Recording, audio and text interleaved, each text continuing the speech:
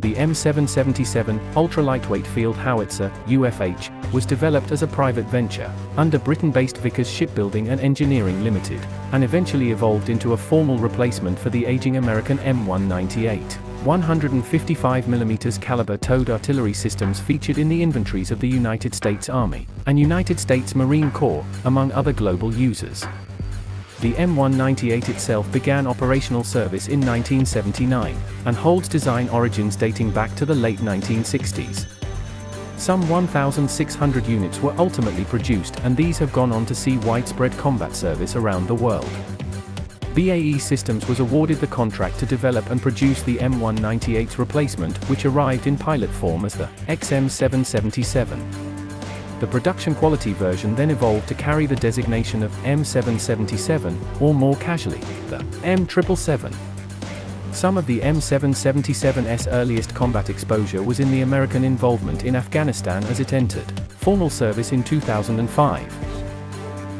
Beyond its use by the United States Armed Forces, the M777 has also been adopted by the Australian and the Canadian armies, which operate the series in the dozens. The US Army and USMC both maintain quantitative stocks of the guns in inventory today. The complete M777 system weighs less than 10,000 pounds, which makes it considerably light in its category, notably lighter than the preceding M198 series. This sort of attention to engineering makes the M777 system extremely adaptable and flexible in the field, and transportable through a variety of means improving upon the original M198 in both its tactical and logistical qualities. The M777 can be transported by land via approved utility truck or through the air by approved aircraft. For the latter, this includes the Boeing V-22 Osprey tilt-rotor helicopters as well as the veteran Boeing CH 47 Chinook tandem rotor haulers to which the M777 unit is hung underneath the airframe. The system is also fully transportable by fixed-wing airlifters such as the Lockheed C-5 Galaxy, Lockheed C-117 Globemaster III, and Lockheed C-130 Hercules, and European-originated Transall C-160 series of transports. The M777 gun and gun mount sit atop a carriage system made up of a split trail, two-wheeled configuration, consisting of the body and saddle. When set up to fire, the M777 adopts a four-point stance for maximum support, and to help contend with the weapon's inherently violent recoil. The muzzle is capped by a large double-baffled muzzle brake for this purpose as well. Elevation and traverse are handled at the rear of the weapon near the breech as is loading and reloading. The M777 is crewed by five specially trained personnel to handle the various functions of the gun. The M198 required nine personnel.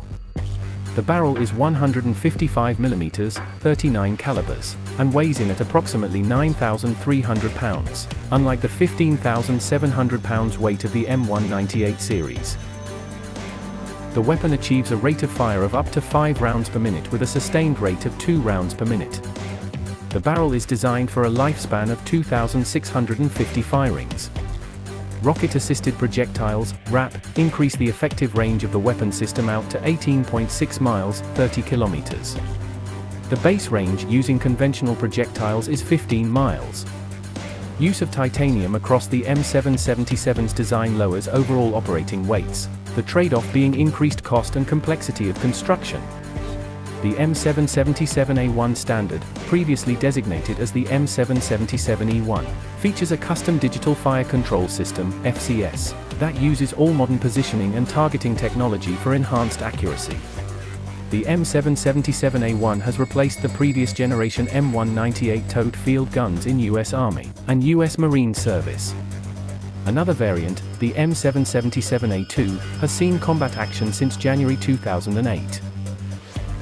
It is based on the M777A1 though slightly modified to fire the advanced Raytheon Excalibur precision projectile, touting a 25-mile range, and features updated software.